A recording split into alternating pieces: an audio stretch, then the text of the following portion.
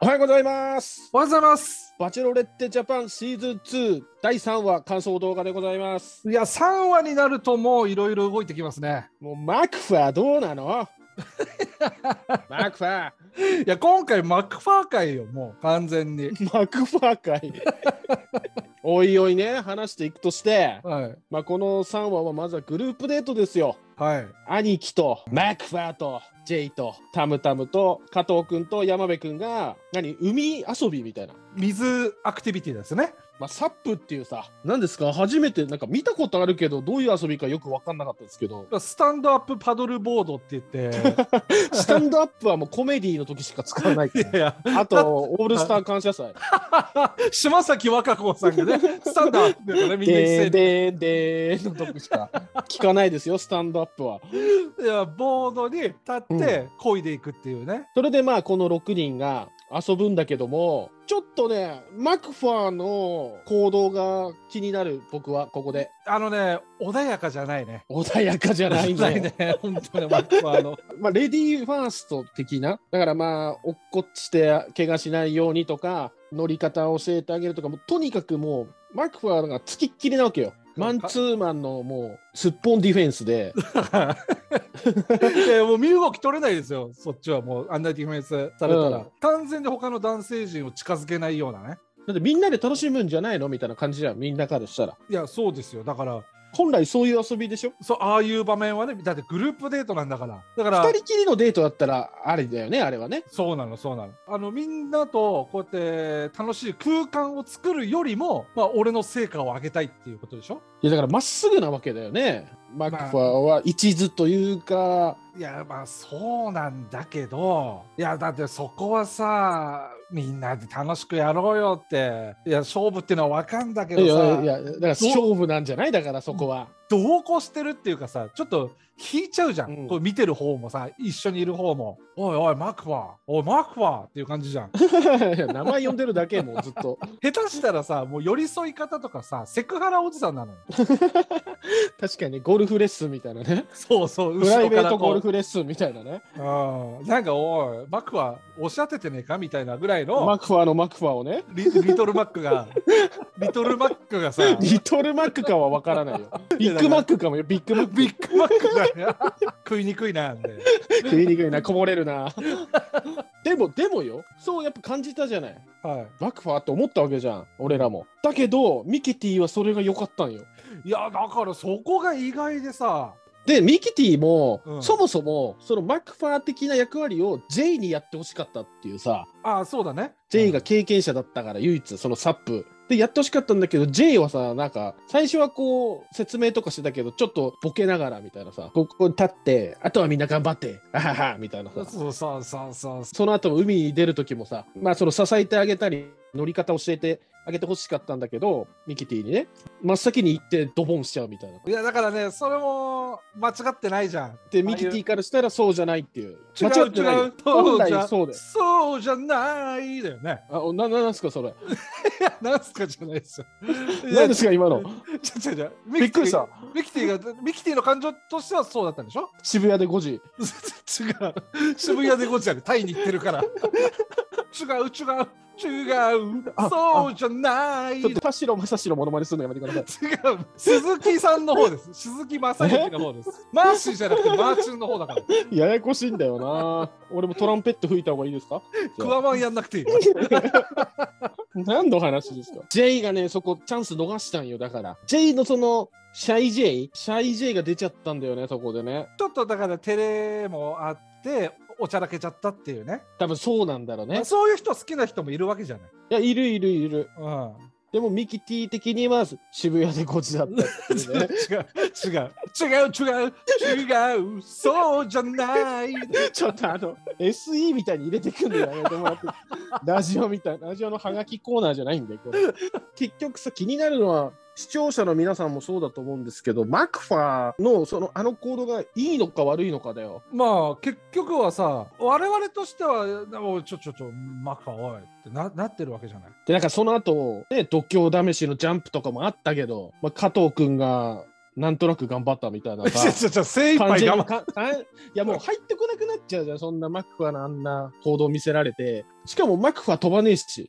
いやそうなのよ。そこがちょっと嫌嫌だったっていうかさ。わかるよ、気持ちはそのプロスポーツ選手として、それの気使ってるってのはわかる。今後のキャリアとしてねプロとしてね。それはもう、うん。プロの考え方としては正しいんだけど J も飛ばなかったじゃんその時。でも J ははでも、素直に怖いって言ってたじ僕怖いって言ってたかゃんら。そんなにそんなに怯えてない、あと、J は単純体重がうん。体大きいから、うん。本当に万が一があるからさ、ああいう体重が重すぎると。ああそうねマクファーが断って、だったら気球にも乗るなよって思うわけよ、俺は。確かにねその後ねさらに高いとこ行ってんだから危ねえじゃねえかよ、そっちの方が何かあったら。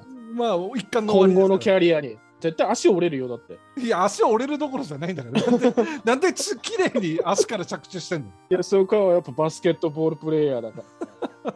納得いかないのよ、だから。水のアクティビティでおいおい、うん。マクファーやりすぎだよ感がうん。ミキティに刺さっちゃったってことでしょ、だからマクファーと同時に俺はちょっとこうミキティにもえマジかってなっちゃったのよ。その前の話ではグランピングバーベキューやってる時に、まあ、うん。みんなが喋ってる間みんなのこう気配りして肉焼いたりいろいろお世話してた長谷川さんにサプライズローズを渡してそうたじゃん。そうそ気が利いて気配りができて優しくてっていう人はミキティ好きだなのかなと思ってたけど、今回だってマクファーのやり方そうそうそう真逆だったからだからねちょっとおいミミキミキティっていうかもうここはもうおみちゃんって呼ばせてもらうけどう。なんでだよ。おいおいおみちゃんって思ったの一番ダメだよ、その呼び方しちゃ。ダメって言うの一番嫌われるよ、その呼び方。鎧脱げはダメよ。その話はその前の話で終わってるから夜中4時、朝よ朝方4時、呼び出しですよ、マクファー。ここで、だから、その、俺は、そういうさ、占領したりさ、みんなと話す場も欲しいからって言って、ミキティが、ちょっと釘刺すのかなと思ったの、一瞬。で朝4時に来て、うん。朝のご飯の時から私に声かけないでねって言ってねいや、まあまあ、そういうニュアンスのことを、さらっとこう、みんなが起きる前に言っときたかったのかな、みたいな。はい、俺も思いましたよそれはそしたら、なんと、気球デートのお誘いっていうね。しかも、ここでまたマクファーが、安倍の兄貴を起こしてからわざわざ行く。一手間加えるのよ。いや黙っていきゃいいじゃん。俺誘われたよ、みたいなアピール。それ自慢自慢じゃないですか、うん。ああとよろしくね。みんなに説明よろしくねみたいな。それか安倍の兄貴一番年齢年上だから、うん。朝4時でしょ？そそろそろトイレの時間だよっていうね。そこはハルンケアしてるだろう、安倍の兄貴も。まだ早いだろハルンケは 40なんだからそれかもう起きてると思ったのかもね。おじ、おじさんだから。4時ならもう起きてるだろうと。早すぎだよ4時はあの人手間いらなかったなって思うけどね。別に自分だけの姫ごとにできないっていうねみんなが寝てる間に行って帰ってきて自分たちだけの思い出みたいにはできないっていうさ。日本人的な感じだとそこちょっと美徳な感じあるじゃん。そうだね。日本人の考え方かもね、2人だけの空間時間っていうのはね。でまあ気球デートは気球デートでよかったんだけどさ。いいやでもまたここ結構な密着感ありましたよ。やあれでも本当に二人きり、いやでもカメラはねあのススタッフさん寝っ転がってるでしょ？寝っ転がってはない足元に。何かあった時に 邪魔でしょうがないよ。いいるでしょ？くの字になって。いないいない。操作する人はいるさちゃんとあの火を焚いたり弱めたり。うやって動かしてんの？気球って下からなんかできるようになってんの？じゃあ。ちょっとあそこの一緒に乗ってるはずですよあのバーナーつける人がいるわけですから。でもなんか隠れてんでしょ？下に。下には隠れてると思うよ、うわー。うん。どういう顔をしてんだろうねそのどうしてんだろう？めっちゃ見てるじゃん。だってハグしてる時とか。あのちょっと甘い言葉言う時とか。どういう顔してんの？マジいでやだからあの般若みたいな顔してんのもう。なんで怒ってんのよ。目を背けてるか目を背けてるってあの空間で？あのそうカゴの中で？下下向いてるとか。あそうか。まあまあそういうのはまあ演出だからと安全がね第一だからいいだろうけどさ。まあでもやっぱり景色も良かったしいい映像でしたよ。いやいい映像すぎるよ。でまあローズをもらい。うん。サプライズローズはマクファーの手に渡り、そしてまたここからよ、さらにマクファー現象、帰宅した時のドヤ顔ね。はいはいはいはい。まあ、メンバーたちはもちろんその安倍の兄貴からの情報を得てですね、もう不安になって、何何何みたいになってるとこに、そのドヤ顔帰宅。あれもちょっと嫌だったね。手ぶてしさというかそね。のどうだったのみたいにみんながさ、一応聞くわけじゃん。ただごめん、余韻に浸りたいから、ちょっとシャワー浴びてくるわ、みたいな。もう一言余計よ。そこでさ、いやさ、みたいな明るくさ、うん。もらっちゃったよみたいになったらみんなも、おお来たかみたいなさ、うんうんやりやがったなみたいなさ、うんちょっといいいいムード、うん仲間のいいムード、ライバルだけど仲間みたいな感じでいけるわけじゃん。うん。でもあそこであの一言言って、でその後の J の無言のインタビューで、あ そうですね。放送事故かと勘違いするかのような最初の5秒ぐらいの無言。ずーっと固まったままね。固まったままの J で。だから J は自分のやり方と真逆だから、こう、怒りが来ちゃうんだろうね、あれ。男としての接し方が。J の中では違うわけじゃん。J どっちかっていうと大和魂みたいな感じだよね。ああ、確かに。うん、それはあるね。男は黙ってみたいな。うんうんうん 男は黙って飲むぞみたいな。まあ、クールポコでも言わねえよ、それ。言うよ。言うよ。言うの？ウォシュレットのなんとかしてる男がいたんですよみたいな。男は黙って飲むぞだよ。J がもう完全に敵対して、で、安倍の兄貴もムカつきましたね、みたいな。これはみんなカチンとくるでしょ、それあれは、あの態度は。だからもうここでマクファー対他男性陣みたいな構図がさ、出来上がっちゃったよね、完全に。完全にそうでしょうね。からのカクテルパーティー。ここもやだ。こ 落ち着いてください、島さん。聞きますから、ちゃんと。だだってあの余計なね、ドヤ顔と余計な一言を言った、終わった日のカクテルパーティーですよ。もう堂々とさ、ローズを持って参加してる。置いてこいよ、お前もうそれ。そうだって前の日の長谷川さんだって別に持ってたと持ってたよあれはローズはちゃちゃ、あのね、持ち方なのよ、持ち方。持ち方？ななんつうの？こう、チャンピオンベルトみたいに持ってきたじゃん。そんなアピールしてた？してたよ、もう堂々と。腰に巻いてこいってこと？どういうこと？違う違う違う。腰に巻いてる風な感じで来てたのよ。俺がチャンピオンだみたいな？そうそうそうそう。いや、ローズもらったのはもう嬉しいけど、もう腰に巻かずに肩にかけてくるぐらいでいいよっていうね。ああなんなら持ってこなくてもいいぐらいだよね別にそうそうそれはもう分かってることだしあなるほどねじゃああれと一緒でしょ元ラーメン屋の店員が ラーメン屋辞めて再就職するためにハローワーク行った時に湯切り持ってきたみたいないや、持ってくんだよ、そんな。見せびらかしてきたみたいなそれはそれは本当に持ってくるなのやつよ。俺、ラーメン屋しか紹介してもらえないよ、そしたら。そういうこと で分かってよそういうことじゃないんだけど、アピールしすぎっていうね。だからその長谷川さんの時は嫌味に感じないけどマクファーの時はそう感じちゃったってことだよね。そうそうそでこの後も問題行動が多いんよカクテルパーティーでマクファーは。まずは和樹にプレッシャー。う。いや、もう自分のタイミングで行くって。和樹が順番待ちでさ自分のタイミングで行きたいのにいいのかよあいつ東京行っちまうぜみたいなさ まだ間に合う行けよみたいなさ駅に。行けよみたいな。違う違う、そんな背中の押し方じゃなかったよ。そっかそれはいい例だもんね。うん、お前行かなきゃ俺行くぜみたいなさ。どうせお前行けねえだろみたいな。そんなニュアンスが含まれてるの。MC のシェリーも言ってたけどお前もうローズ持ってんだから座っとけよっていうさいやそうなのよ。ことなんよね。うん。だけどそのマクファーの中ではやっぱり好きな人と話したいっていう単純な思考なんだよ多分だからお前話さないなら俺行くよ。話したいしみたいな。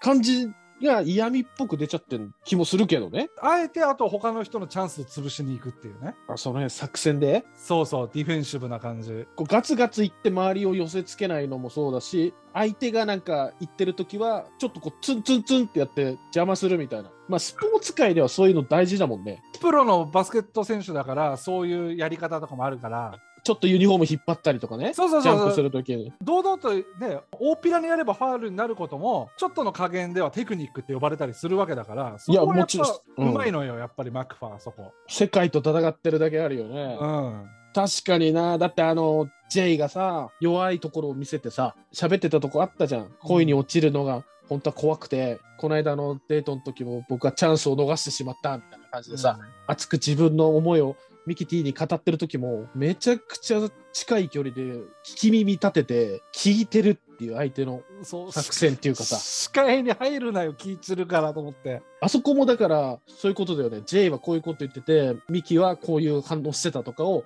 見てるってわけだよね。分析分析。怖すぎ。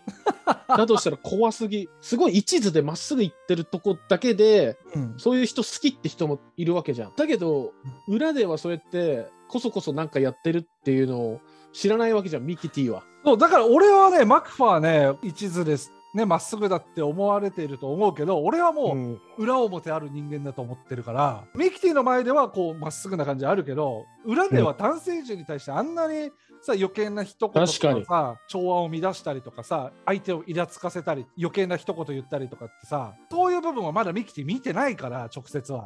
見てないね。見してないし、早く気づいてくれよっていう感情。後ろ後ろって。ねそう。ミキティ後ろ後ろ。裏マクファーね。そう。裏マクファーがまだ出回ってないのよ。中学の先輩からまだ裏マクファーが出回ってないのよ。裏ビデオみたいに飯島愛の裏ビデオみたいに言うなでもさもしその事実をミキティが知った時今のミキティとかだと受け入れちゃいそうじゃない？それ。それすら嬉しい。私のためにみたいな。なりそうで怖くない？怖いよそれ。だってあのマクファーのガツガツを受け入れる子だよ。どっちに重きをだから長谷川さんにも渡してるから気配りができて、周りも見えてるから。その比重よ。だからそのマクファーが新たなね、力を手に入れた時が怖い。新たな力を手に入れた時。今はガツガツ。魔 魔法？魔法をね今ガツガツしてるけどなんかマクファーもこの旅の間に成長して周りとね周りに対しての優しさとかふっと見せた時にマイナスポイントわが一気にこうプラスになっちゃうっていうさ。そうねマクは今ね自分の気持ちだけで突っ走ってるけどそれだけじゃダメなんだって学んだ時でしょ。そう。でもそれマクファーめちゃくちゃ成長してるから良さそうだけどねそれはそれで。許しちゃいそうだけどね俺ら人はな失敗から学ぶからな。まあでもこのカクテルパーティーはさマクファーだけじゃなくて他の人たちもやっぱりアピールめちゃくちゃみんなだからマクファー効果よ。それにやっぱみんな見てあこういう風に行かなきゃダメなんだみたいになって、相乗効果にはなってんだよね結局は。うん。みんな積これ極性スポーツだったら最高じゃんだってこれ。そうだね。であとだって島田さんは和樹に謝んなきゃないことあるでしょ？そうなの。和樹ごめん。本当ごめん。いやだから前回のねカクテルパーティーでミキティとせっかくの2人のチャンスで周りの人はもう結構込み入った話してんのに、うんうん。好きな食べ物聞いてたのよ和樹かおわいいじゃん。いおい和樹お前今それじゃねえよって。だけど今回のカクテルパーティーで前に聞いた好きな食べ物をね白くてふわふわしてる、うん。白玉とか団子とか、うん。そういう系を、和樹作ってくんだよ。すげえよこれ。お前いいやつだなと思って。めちゃくちゃ可愛いこの感じ。らすごいポイント高くなったよ和樹。ただね、あの和樹はさもう明るくてさ、ちょっと恥ずかしがり屋でそれでも陽気でさ無邪気で誠実っていうさ人となりは分かったじゃん。さあこっから和樹がお前の将来像を見せてくれっていうところだよ。いやそこが勝負になってくるねそう和樹はね。そうそういいやマつクファーと逆ね。そう結局そうなのよ。両面を見したものが勝ち残んのよこの旅は。両面を見してミキティに刺さった人が勝つのよ。そいやでも応援したくなるねその長谷川さんと和樹は特に、うん。まあ J もそうだけど。う、うん、でほら太陽増すごとにさちょっと応援したくなるファンも増えた、兄貴よ、うん。手紙。いやよかったよ俺は。いやよかった。刺さってたしねミキティには、途中ねゴモゴモ言って練習してるとこも抜かれてさ。そうそう。なななんなのと思ったんだよ最初。ブツブツブツブツ、うん。なんかその呪いの呪文でもかけてるかのような。かけてないかけてないマクファー死ねマクファー死ねみたいな。すごい演出独身術で俺は読んだけど。いや言ってないよ言ってない。すごい演出じゃん。頼れる兄貴感あるじゃん温厚でさ。でだからその手紙も自分の気持ちすごいいいこと言ってたよ。出会いは人生を変えるみたいなさこと言っててさ実は白紙だったっていうね。オチだけ書いてあって一人喋りで最後だけオチだけ書いてあってミキティに見せるみたいなさ。あの演出。いや俺は結構好きだったよ。俺はちょっとやっぱで引っかかるんだよね。嫌なんだああいうの。いや用意周到な感じがちょっと引っかかるんだよね。なんか自分の魂でぶつかっていく感じじゃないじゃん、ああその時の感情とかだからねそうそうそう。だからミキティが全員にね白紙の紙渡してうん今から私への思いを手紙風にやってくださいって言って、いきなりやるんだったらいいんだけど、あれだって用意してたわけじゃん。ネタ練も一生懸命してたし。ネタ練っていうな。おい 一応練習はしてたけど、ネタじゃないんだから。まあ自分のね、本当の気持ちを手紙にしてるんだろうけど、でもそれってほら、作れるわけだからさ。ら演出にこだわりすぎないでくれってこと。兄貴応援してるけど、今今後。演出なし兄貴みたい。だから音効でスマートな演出もできるけど、もう感情をゆすその場で揺さぶられるそうそうそうそその場の言葉を見せてくれってことね。そうそう。泥臭い兄貴を見たいってこと。なるほど。そこ見せれたら勝ち残れるんじゃないかなと。最後の本当の勝負の時に。いや、あとはだからこの小出さんよ。小出さんね。あれでしたよしっくりきてなかったそのディナーデートの時のね、うん会話で、しっくりきてなかったってことにも、まあ、気づいてたんだよね。うん。自分でも。あ改めて考えてって感じで、鎧についてさ、語るんだけど、またミキティになんかいまいち刺さってない感じがね、出ちゃうんだよな。いいフォローしたと思うんだけどね、自分いで。や、めちゃくちゃゃ良かった。感触なかったっていうのと、一晩ゆっくり考えて、パートナーとはこういうふうにやっていったらいいっていうね、自分の考えも。改めてちゃんとカクテルパーティーで修正したっていうか思いを言えたしあすごいなとは思いましたよ。小出さんはだから一緒にいることによってパートナーが背負ってるものをこう軽くしてあげれるように自分はなりたいみたいなことを言うわけミキティは今すぐ脱ぎたい、脱がせてっていうさ、この旅ではそういう気持ちで来てるっていう根本的なもう二人の考えが交わらなすぎて、どっちも正解だしさ。そうなのよ。なんなら小出派の方が多いでしょ。小出さんの意見のがしっくりくるなって人の方が多いと思うけどね。うんでそこで終わっちゃうわけよ。カクテルパーティーが。で、ローズセレモニーに行き、えースワンダイブ加藤君が落ちちゃうわけでしょ、ここで。スワンダイブ普通に飛び込んだんだからちゃんと勇気出して。ムーンサルトプレス加藤が落ちちゃうわけだよ。いや垂直落下で行きましたから。